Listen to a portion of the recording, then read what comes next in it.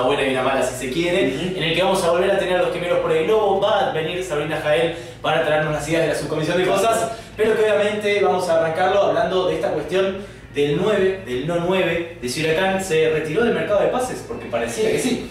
Me parece que no. Me parece que no porque, bueno, en las últimas horas eh, surgió el nombre de Manuel Morales, por ejemplo, que puede ser número 3 de Huracán. Otro número 3. Teniendo ya Müller, traído a Red. ¿Qué hacemos con Müller? Acordémonos que el mismo cuerpo técnico planteó que iba a ser el 3 de Huracán. Bueno, ni siquiera en el amistoso, por ejemplo, el último amistoso contra Argentino Junior fue suplente de los suplentes, porque de 3 jugó Sosa en el segundo partido por Huracán. Y después me imagino también, eh, bueno, llegará el número 9 y unas declaraciones en ADURF eh, indicaban que faltaban tres jugadores más. Morales será uno, supongamos, eh, el número 9 será otro y después faltará un jugador más. Podrá ser otro delantero, otro volante. Que ver en qué tiempo ¿no? termina pudiendo traer estos tres jugadores a Huracán, teniendo en cuenta que el viernes arranca el campeonato. Más allá de esta cuestión del ascenso, qué sé yo, a priori lo que está ya estipulado es que el viernes Huracán visite al final. Aparte, a hoy Cruz en Mendoza Sí. tampoco va a ser de local el arranque, volvieron No. a cambiarlo. Seguramente lo que le falta a este plantel de Huracán es un 9, lo dejó en claro en los dos partidos amistosos, más allá de los resultados que en las pretemporadas son casi anecdóticos, el funcionamiento del equipo demostró que hace falta alguien que lleve la batuta al ataque, un 9 que se pare en el área, que sea referencia para los extremos que ha traído Huracán. En el plantel hay dos, Martín. ¿no? Miasco y Miasco y Mendoza. Los Y dos son jugadores de. Huracán. Hasta Molina. Los tres son jugadores de Huracán. Tenés dos juveniles. Me parece que Molina un escalón más por debajo. Velasco tuvo una buena pretemporada y un buen partido de presentación Sí. con Central Córdoba. Y Mendoza es el 9 que compraste. Pedido por el cuerpo técnico, un 9 que compraste. Me parece con un porte físico que no hay en el plantel de primera división de Huracán. Y que sí, igualmente sin dudas, al menos para el cuerpo técnico, siendo una opción a recuperar. Sí, Así, ¿no? Porque si vemos lo- la formación en realidad de los partidos contra Argentinos, los titulares pierden 2 a 0, se juega con este esquema Sí. de siempre, idéntico de, partido era de domingo. fenómeno. 4-2-3-1, Sí. pero con Puceto una vez más de 9, así Sí, como se hizo en Copa Argentina. Encima después lo cambia Pusito por Angulo. Sí, raro. Sacan los dos jugadores de su posición natural para inventar una posición que no tiene. A ver, está claro, ya dijimos, Mendoza se lo compró, se hizo el esfuerzo, estuvo bien la compra de Sí. Mendoza. Mendoza es un buen suplente. Hay que buscar un 9 titular. Huracán necesita hoy un 9 titular. O por lo menos probar con los 9 que tiene. Si Pusito sabemos que en el 9, y aparte ya lo probaste un partido importante contra Belgrano de Córdoba. Ujú. Lo cierto No le es fue que bien, estaba incómodo el pibe. Coincidimos Al en haber el ya jugado su último amistoso, Huracán va a llegar a la primera fecha del campeonato, al compromiso contra Godoy Cruz de Mendoza, con un esquema definido, eso desde ya porque Sí. no ha cambiado, Sí. y sin haber jugado jamás, por ejemplo, ni con Mendoza ni con Blasco de 9 titular, sacando este partido de Copa Argentina, y en que tampoco estuvo Puceto, No. o sea, no era el equipo que finalmente se había presentado. Hoy por hoy, si tenemos- y. Hoy si tenemos que agregar un equipo seguramente sea en los que disputaron el partido contra Argentino Junior. Creo que hoy es el 11 inicial de Huracán, sin el 9, con algunos problemas de funcionamiento. El equipo se fue adaptando a esta táctica que ha propuesto Domínguez, pero todavía falta eh, terminar de acomodarse. A ver, vamos a comparar el plantel anterior con el actual. El arquero lo mantenemos, Marco Sí. Se fue San Román, una baja sensible. Vino Romat, me parece que No ahí estamos bien. Sí. Los dos centrales siguen, estamos bien. El 3 se fue Balbi sorpresivamente. Iban a mantener a Müller, finalmente no lo está haciendo en estos momentos. Llegó Garré, No demostró demasiado. ni No para ser titular. Puede venir, va a venir otro más porque pidieron otro más. Podría ser Morales. Ahí me parece que tenemos un punto flojo si se queda Garré y Müller, porque el mismo cuerpo técnico no confía ni en Garré ni en Müller todavía. Mitad de cancha tenemos Abogado, Compañucci. Con Parucci atrás. Ahí estamos. Ese reforzó. Sí, bien. Me parece que ahí nos mantenemos bien porque se fue Villarreal, trajimos a Compañucci, Compañucci los partidos que jugó, hasta ahora bien. Mantenemos ahí. Sí, sí, sí, de acuerdo. Se fue Espinosa, 5 millones de euros. Un jugador importantísimo Sí. por Huracán. Vino Puceto. Bien. Después mantenemos a Montenegro y a Toranzo. Y a Romero Gamarra incluso. Romero Gamarra que está jugando muy bien esta pretemporada en Huracán. Mucho mejor, sí, que los otros dos. Tenemos a Mariano González. Para cubrir por Una apuesta a Chacana. Un jugador dos escalones más por debajo del resto de E sus incluso compañeros. con un ángulo que puede jugar por derecho. Lo tenemos Angulo, un jugador importante. Me parece que es el nombre más seductor de este mercado de pase Huracán. Se fue Mancho Peávela, se fueron 54 goles, tijera, caño, pegarse con Se los fue lo más centrales, se fue un goleador importantísimo. Lo tenemos a Mendoza, lo tenemos a Briasco que sorprendió positivamente. Nos falta un jugador ahí. Falta, sí, de hecho, el cuerpo técnico también. No me parece mal el mercado de pase de Huracán. No, no, Huracán, de me hecho, parece tiene- tardío en el puesto principal a reforzar. Estamos nosotros de acuerdo y seguramente también el cuerpo técnico, que por eso obviamente sigue haciendo los pedidos que sigue haciendo, en que la posición del lateral izquierdo, la de 3, y la de centro delantero, de 9, son las dos grandes deudas de este plantel que, insisto, lo que preocupa quizás no es tanto que las tenga, porque lo puede llegar a conseguir, porque falta todavía para que se el mercado de pases, pero que hubo más tiempo que nunca, lo hablamos en programas anteriores por la Sí, Copa por muchísimo los. Juegos Olímpicos, y aparte más ingresos. Seguramente, Eso que se hicieron efectivos. Igual hay que tener en cuenta dos cosas, perdóname Sí. en cuenta dos cosas. La primera, la AFA no sabíamos qué pasaba, ¿no? Esa es una de las cosas. eh, Me animaría a decir que todavía no sabemos qué puede pasar. Tenemos un posible paro en puerta que puede llegar a volver a el fútbol. Y otra cosa más importante también, el gobierno nacional cambió, el gobierno nacional cambió y va a ser supuestamente, ojalá que así sea, mucho más exigente con la deuda de los clubes. Ojalá que pase, insisto. Y Huracán tiene que presentar buenos números. Sí, también- Entonces no hay que gastar por gastar. También hay que tener en cuenta que va a cambiar la manera de trabajar con el fútbol, eh, entre la relación entre la AFA y el gobierno. La AFA va a cambiar completamente. El gobierno cambió la manera con la que trabajaba con la AFA, con el problema de fútbol Sí. para todos. Así que nos, eh, nos encontramos en un momento donde no sabemos para dónde va a salir disparada la AFA y cómo va a afectar esto a los clubes. Huracán hoy es un club que está más ordenado económicamente de lo que venía Sí. estando, ha recibido un ingreso eh, muy grande a comparación de lo que ha tenido en los últimos años. Es el momento que Huracán despegue, que se ponga en ese lugar que supo ocupar en algún momento Vélez cuando el Exactamente. fútbol para todos era el que dominaba el, el- el fútbol nacional. Bueno, es el lugar que Huracán tome ese lugar en este momento. Por último, para cerrar antes de presentar el informe, un espejo importante el de Lanús. Último campeón, recientemente campeón, de visitante en cancha de Racing, primero en la tabla de- eh, general de las inferiores. Me parece que por ese lado tenemos que apuntar un club que tiene casi 50.000 socios. Un club ordenado que compra bien, que vende bien, es, eh, es un club Con ayuda, con ayuda, Con ayuda, seguramente. Nosotros también podemos tener ayuda. Sí, sí, pero me- La más, legislatura la tenemos frente de la sede, es ir a tocar a la puerta y llevar un proyecto serio. Sí, sí, más quiero hacer hincapié en el tema este de eh, un club ordenado, un club con las cuentas claras, un club que, repito, vende y compra bien. Hay que apuntar a ese tipo de Un club unido. Un club unido, Cosa que. Huracán ni siquiera en, la- en el oficialismo lo encontramos. Ni siquiera en estas cuestiones que hablamos respecto a lo que es el cuerpo técnico, respecto a las necesidades del Huracán, un 3, un 9, no sé, estuvimos fijando nosotros quizás cómo fueron los anteriores mercados de pases desde que Alejandro Ladur es presidente del club y por eso es que presentamos este informe especial que viene a colación con todos los refuerzos e incorporaciones que llegaron desde que Ladur es presidente. Las primeras imágenes que vemos son del 3 de julio de 2011, cuando Alejandro Lanur gana las elecciones, después de la época de Babington, con el 69,3% de los votos. Sí, junto a Pasos y Sazo, ¿no? Exactamente, sus vicepresidentes y días después presentaban a la trastienda a los primeros 10 jugadores que iba a traer. Vemos a Milano, a Desbo, a Nanía, a Villegas que llegaron junto a Sánchez Prete, Pablo López, Cristian Talvo, Cristian Leiva también, Hernán el Karateca González y Martín Pautazo. Bueno, teníamos que más o menos ubicar en ese contexto Huracán, ¿no? No podían ni pagar la luz de la sede. Al año próximo, en 2012, primero en verano, llega Alexis Ferrero, pero seis meses después, en invierno, iba a llegar un defensor que verdaderamente le rindió acá, como lo es Federico Mancinelli. Sí, creo que de esta camada de refuerzos lo que más quedó en Huracán fue Mancinelli. Exactamente, también regresó Eduardo Domínguez, Matías de Federico, Leandro Cusco, Walter Ferrero, el hermano de Alexis, eh, a Jordana. un jugador que le rindió, Danielón, Daniel Vega. Asumía al año siguiente, en 2013, Antonio Mohamed. Anteriormente en el verano solo había llegado Matías Jiménez y con él llegan 12 jugadores. Vemos acá goles de Arraya, de Caruso, perdón, y de Arraya vamos a ver a continuación, que llegaron junto con Mandarino, Capurro, Víctor Cuesta, Villafañez, Diego Pozo. Leandro Díaz el delantero, Diego Pozo, Lucas Fernández, ese 5 que prometía supuestamente de talleres de remedio de escalada, y obviamente Marcos Díaz. Bueno, Víctor Cuesta también, no sé si lo habíamos nombrado. Marcos Díaz que llegaba como tercer arquero, polémica, raro. Acá vemos el único gol de hecho de Cuesta en Huracán. Esperar que, que me conozcan, que sepan cómo uno se desenvuelve tanto afuera como, como adentro y nada. Eh, siempre digo, el trabajo, el sacrificio llegará seguramente de la mano de los seis y ojalá que la suerte también nos acompañe.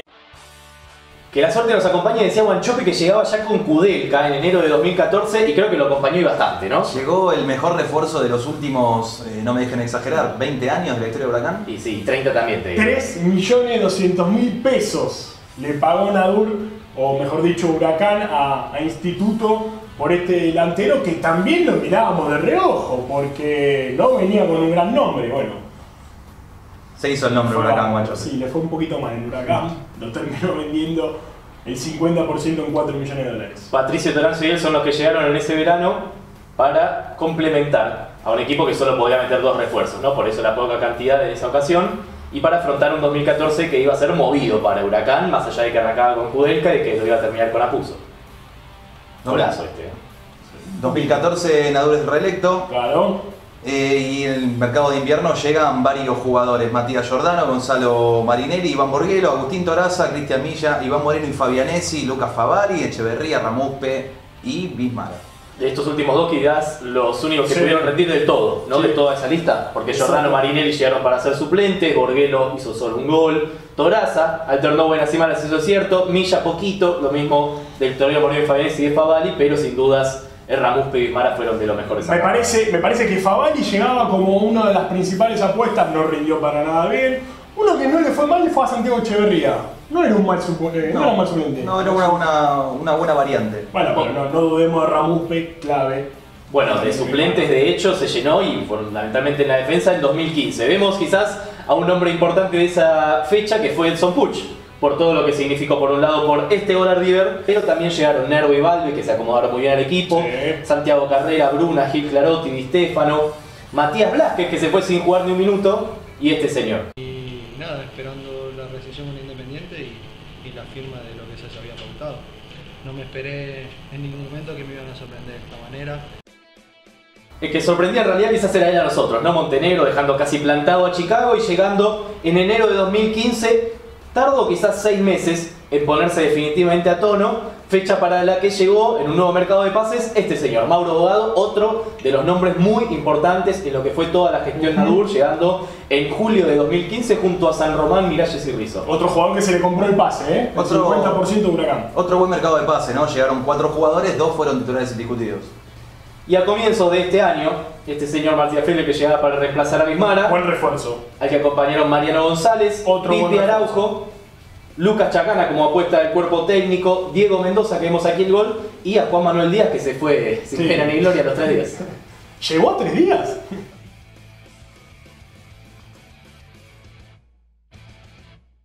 Esos fueron entonces los refuerzos que ha traído Alejandro Nadur desde que es presidente de Huracán, allá desde su primera elección por Bastantes. julio de 2011. 76 lo contamos, ¿no? Exactamente. 76 nombres en los que incluyen eh, jugadores que han trascendido en Huracán, jugadores que han logrado hacer eh, buenos papeles y un montón también que la verdad no me acuerdo de muchos. Si hacemos un top 3, Y Marco Díaz. Rápidamente, Marco. Díaz, Guanchope y me animo a decir, Sí. eh, yo Mancinelli. voy a decir Montenegro. Bueno, Voy a decir Montenegro, yo- más allá de lo que... lo que es la gestión de la vuelta. Exactamente, fue todo algo más emotivo aparte de Bueno, lo que hubo- realmente fue vueltas hubo varias, de hecho, ¿no? Digamos, incluso ya desde 2011, Milano, Sánchez Sí. Prete, eh, bueno, ahora Araujo, Leandro Díaz, que no lo nombramos porque fue por fuera de los mercados de pases, que vino obviamente Sí, después del accidente la de- Caracas, por los problemas que tuvieron Con tanto. Soranzo como Diego Mendoza. Mendoza, que es uno de los últimos en realidad en llegar, y obviamente los que no incluimos son los cinco del actual mercado de pases que todavía no está cerrado: Romar, Garré, Angulo, Puceto y con Panucci. Veremos si se le suma finalmente un algún 9. Sí, sí, sí. como- Uno cree que Sí, creería sí, que sí, sí, sí, es esperamos. necesario. esperamos. Ya se viene la subcomisión de cosas de Sabrina Jael con las ideas particulares que siempre semana tras semana nos trae. Pero antes, como hubo un evento particular en esta semana en el mundo huracán, queremos recordarles el momento inicial de lo que es este primer año de Eduardo Domínguez como técnico huracán. Recordamos su primera conferencia de prensa y sus palabras. con mucha ganas de, salir adelante, que, depende de todos. Eh, ¿Y por qué? Porque me lo pidió el presidente, porque hablé con Néstor y, y Néstor estaba, estaba totalmente de acuerdo. Y, uno pone en la balanza las cosas positivas eh, y negativas de, de tomar esta decisión. Eh, y yo lo veo como, como un desafío muy, muy lindo. Esa fue la primera conferencia de prensa de Eduardo Domínguez como entrenador de Huracán, allá por agosto del año pasado, cuando se hacía cargo del equipo que dejaba Néstor Apuso. Bastantes sabores, ¿no? Y todo tipo de anécdotas ha dejado ese primer año de Eduardo Domínguez Huracán. Pero les habíamos dicho que se venía la subcomisión de cosas. Quiero decirles que trae un invitado o alguien de más, se podría decir, porque una vez más tenemos acompañando a Sabrina Jael a Flaco Aspineta. ¿Qué tal, chicos? ¿Cómo les va? ¿Cómo le va? ¿Todo bien? Lo alquilaste. Mira. A- absorbiste su sección, te diría que ya está unificado. Segunda oportunidad en que se juntan, ¿no? No, no, eso no creo que sea posible. Se te complica. No, no, te complica. ¿Qué opinas de los insultos hacia vos? Me, me pueden chupar todo bien la pija. Así. Eh, Uno por uno. Para tanto. Hincha, no hincha, periodista, todo. Me pueden chupar todo bien la gacha. Perdón, disculpe. Siga. Absorbiste a un buen personaje. Sí, está, está enojado. Se lo puede ver enojado. No, lo saqué de la zonco de figura, por lo que van a escuchar. Claro, de- totalmente, veo, Sí. veo. No va a haber que ponerle clip seguro a esto. No, no, estoy bien igual, ¿eh? Estoy bien. eh, Estoy sobrio. Estoy sobrio como hace muchos años no estoy. ¿Y quién sentís de eso? Eh, me siento un poco evangelista, ¿sí? Yo creo que en cualquier momento estoy para dar eh, una charla en Iglesia Universal de Avenida Corrientes. Pero a mí me gustaría saber qué opina tanto Sabrina como el Flaco de la falta del 9 de Huracán. Me gustaría que poquito de... No sé. ¿No? Me encantaría que me lo traigan para el día del niño. Ah, bien. Eh, yo ya lo dije, para mí eh, el nuevo huracán son los padres. no, ¿Y tu viejo juega bien al fútbol, por lo menos? Eh, mi viejo se decía que cabeceaba bien, pero mide como uno 60 y algo. ¿eh? No, no, no. Ni él, el chiquitito, cabecea bien. Eh. No sería mejor 9. Bueno, Matías, Juancho, eh, lo que les trajimos hoy mientras me preparo un mate son canciones. ¿Ah? ¿Por qué trajimos canciones? Básicamente porque las canciones que hay ahora no nos identifican. ¿sí? Yo quiero cantar algo que lo que está cantando la hinchada no me gusta. Entonces lo que voy a traer con la querida Saujael son canciones para toda la hinchada. ¿sí? Trajimos un ejemplo de que no fue una idea original nuestra, debemos reconocerlo. Trajimos eh, un ejemplo de los chicos de la colonia de Huracán, de la Quemita, que Ah, bien. eh, sí, que podemos escuchar lo que, lo que cantan ellos en el micro, que nos parece muy correcto. Readecuaron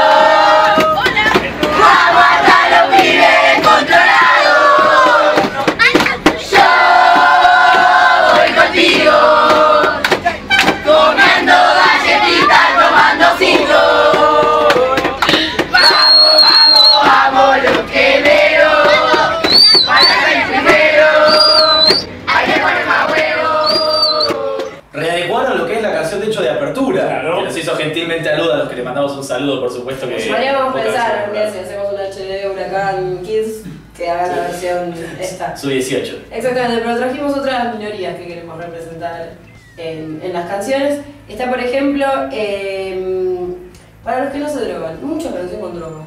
Hay gente que no se droga, yo no me drogo. Yo no puedo andar cantando sí. el porro y la merca, nunca Sí, también para los sub. Exactamente. 18. Entonces podemos cambiar comiendo locro, Aquarius de litro, el que no alienta el globito para qué carajo vino. Bien. Esa es una opción. Tenemos la opción vegetariana también. Yo soy vegetariana, tengo todos los problemas juntos. Eh, entonces, eh, nos bancamos la lluvia, los patis sin verdura y todo eso por vos. Es buena, es una pero está bien, es integradora. Sí, sí, sí, sí, sí, sí. Y la otra es también, soy mujer y hay mucha canción con pija. Mucha que los huevos, que la pija.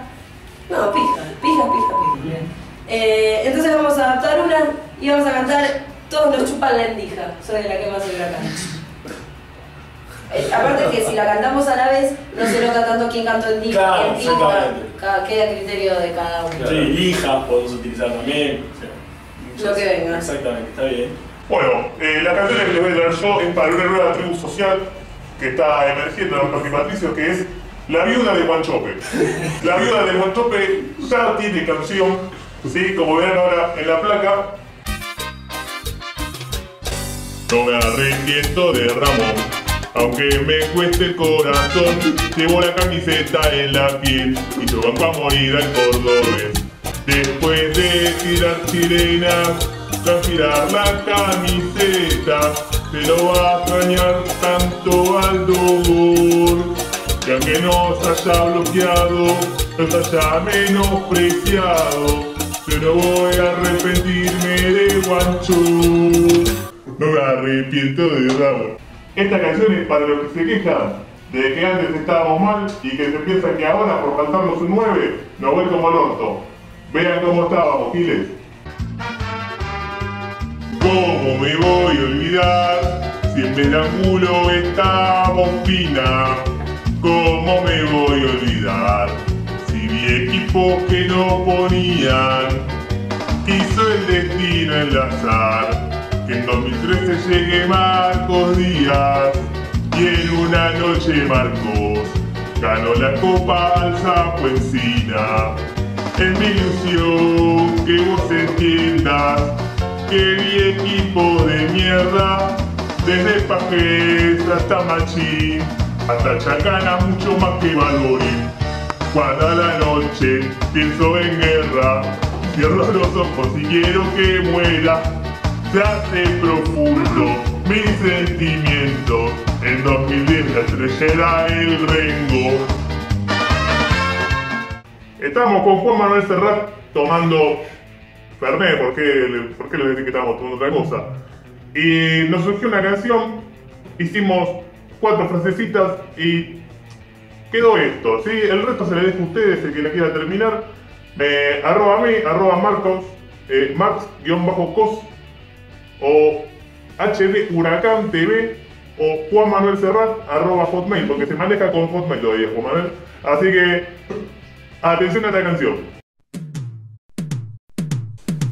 Te pones la guita argote, te custodia la policía, Escobar te puso arriba te conocen por la cocaína.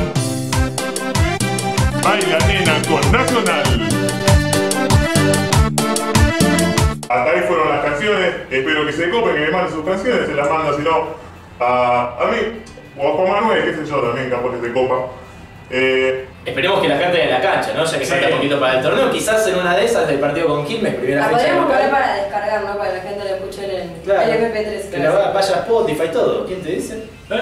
¿Eh? Me intriga mucho que tenés acá, porque veo que tenés un, un 9 tapado, como se diría en el ambiente del mercado de Porque pases. viste que esta cosa de, de- de Ah. estar en vivo hace que pasen cosas todo el tiempo. Firmó un nuevo recién. Acá firmó un 9 acá. Acá firmó Bien. Pancho justo preguntaba y mira, tenemos obviamente. Díaz, tenemos a Mansi Nervo, tenemos a Garré, Omat, Fritzler, Camparucci, Pogado, Toranzo, Rolfi Bueno, ahí no tenemos sorpresas. O sea, te digo, es el equipo con todos Sí. integrantes del plantel profesional que se puede suponer van a jugar. Faltaría que es el 9, no es Mendoza, Revelalo, no es Briasco. lo dejo en tus manos. A ver. El 9 de Huracán es. Tu vieja. Bueno, tuvieron el remate. Y nos salvaron de tener que tirar la pelota, como habíamos pensado. Le agradecemos muchísimo a Sabrina Caelia y Flaco Aspireta por traernos estas canciones innovadoras. Veremos si se cantan en la cancha o no, si tienen éxito. Pero les habíamos dicho al comienzo del programa que tenemos una nueva edición de Quemeros por el Globo para mostrarle varios exjugadores que habían participado en Huracán han hecho goles. Algunos se han retirado ya del fútbol profesional y han comenzado su carrera como entrenador. Vemos las imágenes a continuación. Arrancamos este quemeros por el globo con Carlos Chicharano, nuevo entrenador de, de- de Racing, de las inferiores de Racing. Acá lo vemos marcando penales importantísimos. Se retiró aparte como jugador. Claro, venía de Barraca Central. Pasamos a otro entrenador, a Diego Coca, técnico de Huracán en la B Nacional, nuevo entrenador de Millonarios de Colombia. Sí, un lindo desafío para un Coca que le fue bien a. Racing y que se va a probar ahora a nivel De internacional. Colombia nos vamos a Holanda y lo tenemos al Pepe San Román con esta asistencia. ¡Pac! La puntea, definición abajo del número 9. Sí, lo llevó a la punta al lado del hack, 2 a 1 ganó ese partido y está con puntaje ideal en la Eredivisie, Liga de Holanda. En Huracán no dio asistencia, lo más cerca que estuvo, se podría decir, es este gol de Ávila. Le pegó bien, ¿eh? Le pegó muy bien al arco y por el rebote del arquero de Aldo Civi en aquel 2 a 0 en el cancha de Huracán, se Sí. termina convirtiendo a Ramón. Hugo Morales debutó como entrenador de Huracán de Goya. con un empate. 0 a 0 puntualmente contra Bartolomé Aquel talentoso jugador quemero. El Pipa Torres.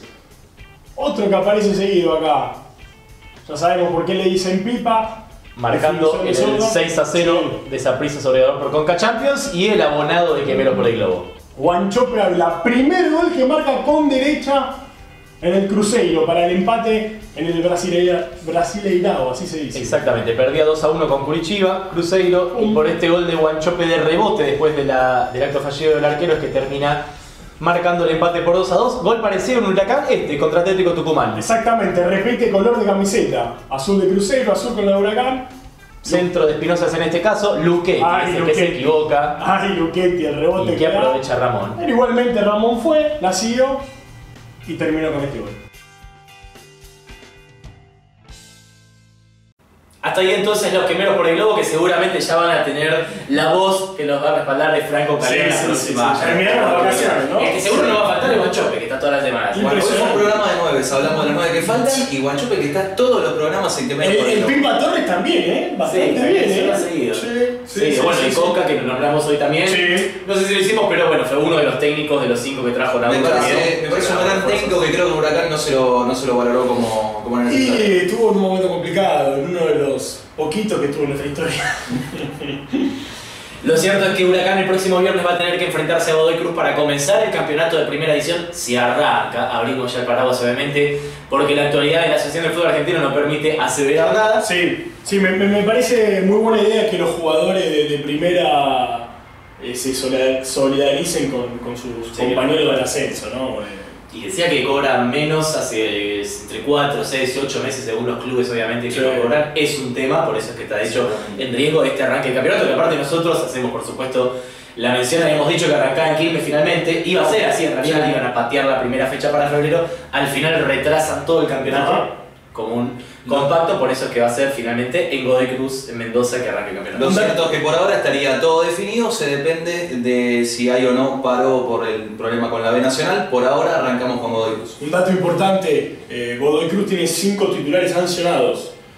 Recuerda Eh, por ¿qué la anterior fecha, claro, contra San Martín de, de San Juan, exactamente, así que me parece que, que es un buen dato a tener en cuenta. Y es importante aparte quizás para poder arrancar con un triunfo. Ojalá. No, un rival y una instancia Ojalá. o una cancha, quizás un estadio, por lo lejos más bien complicado, si acá puede hacerse los tres puntos. Antes de arrancar una racha, no digo accesible porque va a ser muy difícil el campeonato para todos, y en Para particular por Huracán, por esto que venimos hablando de todos los programas de hecho de HDH, pero sacar un buen resultado, después va a tener la apertura como local y demás, y aparte a la espera, obviamente, de cerrar el plantel con todas estas cuestiones que decíamos. Viernes 21 a 10, si todo sigue así, marcha en orden, el partido en el Estadio Malvinas Argentinas de Mendoza de Huracán contra Godoy Cruz. Lo analizaremos en el séptimo programa de H Huracán. Obviamente hoy no nos hemos quedado con tiempo para más. Nos reencontramos la próxima.